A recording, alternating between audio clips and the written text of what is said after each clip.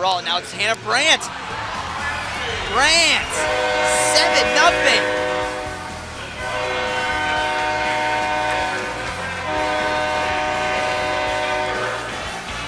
See here, Brandt coming in from the left side, able to go top shelf.